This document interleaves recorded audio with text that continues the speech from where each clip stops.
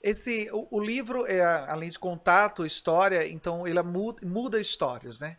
muda a vida das pessoas. Mas muda em que sentido? Para que a pessoa acredite no seu sonho, acredite no, no que de fato você gostaria de fazer um dia, sem também deixar de lado o seu ganha-pão, vamos dizer assim, né? Exato. Então, é justamente isso. O maior ponto é como a pessoa realizar os sonhos dela, os objetivos dela. Uhum. Então, claro, o meu objetivo foi um e cada um tem o seu. Então, eu mostro maneiras práticas de como a pessoa se organizar, escrever metas. Eu virei um especialista de gestão do tempo, né, para conseguir organizar tudo isso. Então, dou dicas de gestão do tempo, dou dicas de, de uma mentalidade vencedora. Então são uhum. vários pontos aí que envolve aí a alta performance, né, e a busca de, dessas realizações. Mas ser um especialista de gestão do tempo, ou seja, organizar o nosso tempo, o nosso dia, né? Porque a gente fala, ah, o dia tem 24 horas, pra gente não tem, né? não tem, porque a gente precisa dormir, a gente precisa descansar. Nem todo mundo consegue dormir tantas horas assim. Então, como é que você organiza esse tempo e como você organiza o tempo das pessoas? É exatamente isso que você falou, Lisa excelente pergunta. As pessoas só têm 24 horas. A coisa mais democrática que existe no mundo é o tempo, né? É. O Bill Gates tem as mesmas 24 horas que eu e você ou, ou qualquer outro. Uhum. Mas como a gente organiza que é o segredo. E tem um detalhezinho que eu aprendi, é que em vez da gente pensar nas 24 horas do dia, que parece que não cabe mais nada na nossa uhum. agenda, é a gente pensar nas 168 horas da semana. Quando você pensa em 168 horas da semana, não é possível que você não encontre uma hora, duas horas para fazer exercício físico, para ler um livro, para ficar mais com a sua família. Então a gente tem que conseguir se organizar. Eu anotei por uma semana como eu gastava meu tempo, quantas horas eu dormia, quantas horas eu passava no trânsito. E a hora que eu vi que eu passava mais de 30 horas na frente da TV, nas redes sociais, para eu ter o tempo sobrando. Ah, e aí você concilia com o teu trabalho. Exato. Então... E, e quantas horas no trabalho, quantas horas no, no hipismo? né?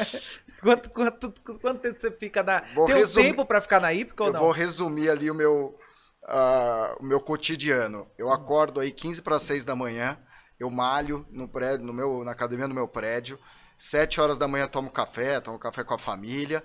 É, 8 horas estou no escritório. Daí ao meio-dia eu almoço rapidinho vou para a hípica. Eu treino lá umas duas horas, até umas três da tarde eu volto para o escritório, fico até umas seis e meia, volto para casa e, então é mais ou menos essa minha rotina. Todo dia? Todo dia. E você consegue cumprir esse horário? Consigo. Só de final de semana que muda, né? Que daí fica ah. mais, eu consigo até me dedicar mais tempo ao esporte, que não tenho o, o trabalho, né? E quando você quer se divertir, como é que faz? Não, consegue. Tem exceções, né? ah. né? Então, claro, tenho que abrir mão de algumas coisas, abrir mão de coisas sociais, principalmente quando você é um atleta, às vezes você não pode abusar, mas eu acho que você consegue conciliar tudo. Eu falo muito mais do que o tempo, é a intensidade que você faz as coisas. Né? Então tem gente que passa ali o dia inteiro agora no home office, por exemplo, com a família, mas não está verdadeiramente com a família, não está de corpo e alma. Uhum. Então, por exemplo, se eu tinha ali uma hora no dia para estar com meus filhos, é uma hora que eu brincava, rolava com eles no chão, brincava de esconde-esconde, eu lia livrinho para eles dormirem. Então, isso vale mais do que você passar o dia inteiro, mas não tá ali de corpo e alma, sabe? Entendi, entendi. Aí divide, né? Uhum. Tem, tem, que aprender Então é, você sabe, não adianta eu estar no trabalho pensando no IPIS, estar no IPIS pensando na família, tá no... então realmente você tá com esse foco, é fundamental. Mas aí precisou fazer uma terapia, ou não? eu tenho eu tenho um coach, né? O cara é sensacional, que é o Renato Cobra, que é filho do Nuno Cobra. Que foi... Ele teve aqui o Renato Cobra? Não teve? No, no podcast, eu acho, aqui no Estúdios Ele é filho gente. do no, no, Cobra, que foi o técnico do Ayrton Senna. Eu e... acho que já teve aqui nos Estúdios Lipa, gente. Quem ainda não esteve aqui no estúdio, venha para cá, tá? Então ele tem uma metodologia sensacional, me ensinou muito sobre mentalidade vencedora. Então é um cara que eu tô com ele há muitos anos, né? E fora o, outras pessoas que me ajudaram, eu sou muito a favor de procurar ajuda.